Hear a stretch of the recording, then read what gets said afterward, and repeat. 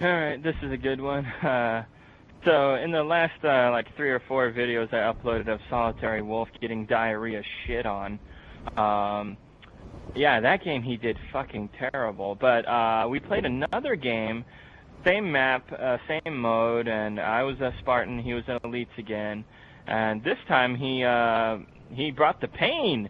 This time he was trying re- a lot harder and doing a lot better. I was actually kind of impressed with his skills.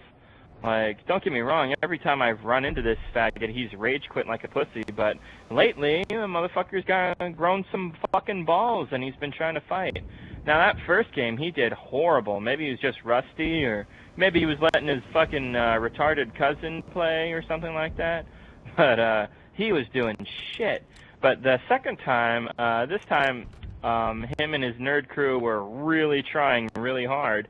And, uh, yeah, they did better, but uh, not really. And here's a clip of uh, what happened.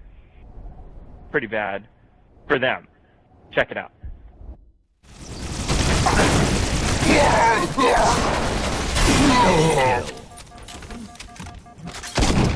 Triple kill.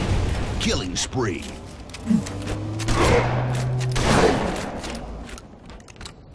nice. I like how this time the nerd crew didn't consist of uh, solitary duck. I guess uh, he's such trash at the game they didn't want to play with him against me. So this time it was uh, Breezy, Salavek, London BMX, and Solitary Wolf.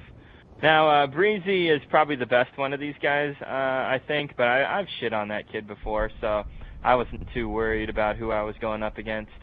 And uh, Salavek, he's some sweaty Mexican. He's not very good. I've, I've diarrhea shit on him many times in the past. London BMX, he's uh, not very good either, and neither, of course, is uh, Solitary Wolf 97. So, of course, uh, I would kill all of them in my base. Pretty pathetic. I mean, seriously, you sweaty Mexican tryhards. It's just me and my brother, and my brother is not that good. I'm pretty fucking good, but my brother is, you know, average. Sometimes he does really good, sometimes uh, not so much. Uh, and you guys let me kill all four of you? Just saying. It's pretty fucking pathetic.